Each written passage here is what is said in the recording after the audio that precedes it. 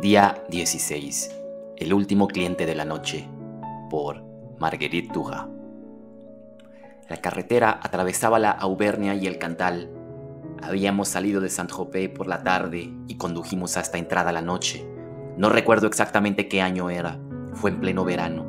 Lo conocía desde principios de año. Lo había encontrado en un baile al que había ido sola. Es otra historia. Quiso parar antes del amanecer en Aurillac.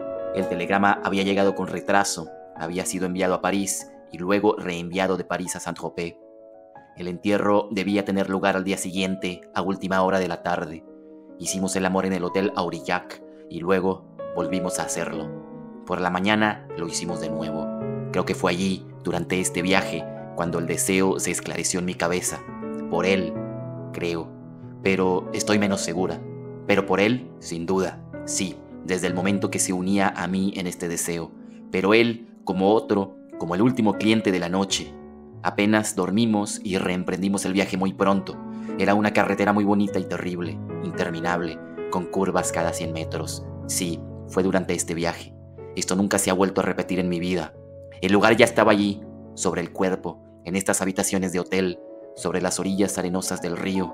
El lugar era oscuro, estaba también en los castillos, en sus muros, en la crueldad de las cacerías, de los hombres, en el miedo, en los bosques, en el desierto de las alamedas, de los estanques, del cielo. Tomamos una habitación al borde del río, volvimos a hacer el amor, no podíamos hablarnos más, bebíamos, en la sangre fría golpeaba el rostro y ciertos lugares del cuerpo. No podíamos acercarnos ya el uno al otro sin tener miedo, sin temblar. Me llevó hasta lo alto del parque, a la entrada del castillo. Estaban los de pompas fúnebres, los guardianes del castillo, el ama de mi madre y mi hermano mayor. A mi madre no la habían metido todavía en el ataúd. Todo el mundo me esperaba. Mi madre. Besé la frente helada. Mi hermano lloraba. En la iglesia de Onsain éramos tres. Los guardianes se habían quedado en el castillo. Yo pensaba en este hombre que me esperaba en el hotel al borde del río. No me daban pena, ni la mujer muerta, ni el hombre que lloraba, su hijo. Nunca más he tenido. Después vino la cita con el notario. Consentí a las disposiciones testamentarias de mi madre. Me desheredé. Él me esperaba en el parque. Dormimos en este hotel al borde del Loira. Después nos quedamos varios días junto al río, dando vueltas por allí.